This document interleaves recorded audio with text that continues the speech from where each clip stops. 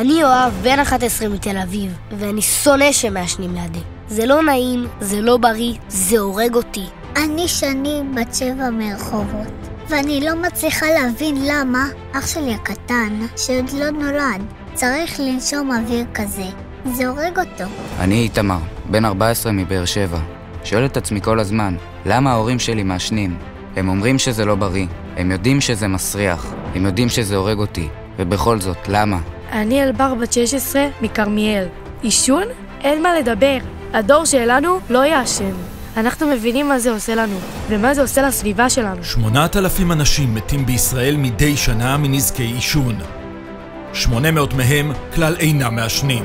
ההסתדרות הרפואית בישראל מצטרפת לילדי ישראל במאבק נגד התופעה שאסור שתהיה שייכת לדור שלהם. בדור שלנו זה לא יקרה, כי מי שמעשן לידינו הורג אותנו.